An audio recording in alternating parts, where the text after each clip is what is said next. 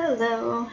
So I recently reviewed a project where I had an issue with the controllers not tracking in in the game. So even though I'm moving my controllers, my actual controller in the game is still stuck here even though I'm waving it in front of my face.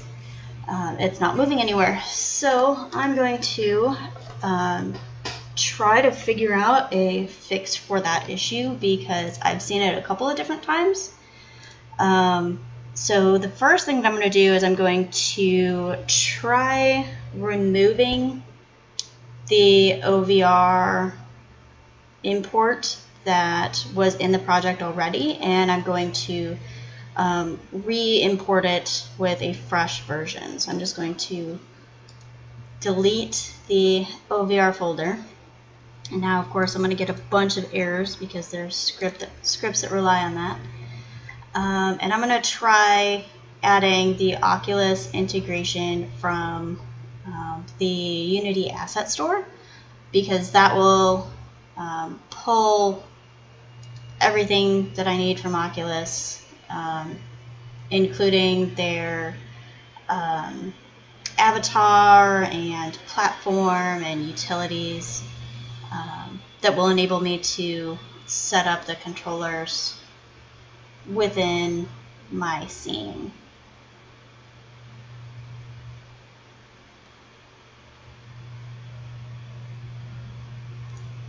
Awesome.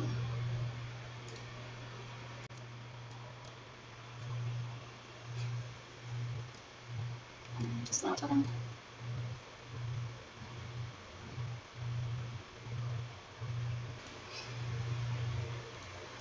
So I've got OVR here and the scenes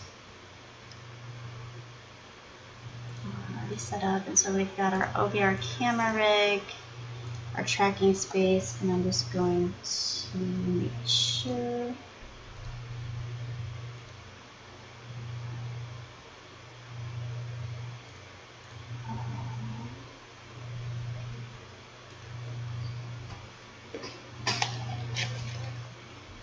Aha!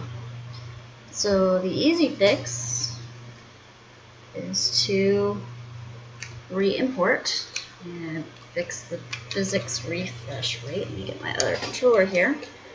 Um,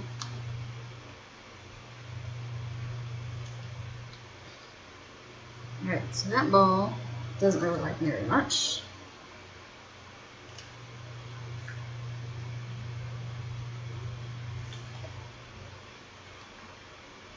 Interesting. Why does why am I that's weird. Alright, well the easiest fix for that appears to be to just re-import OVR from the asset store. So now we know. Bye.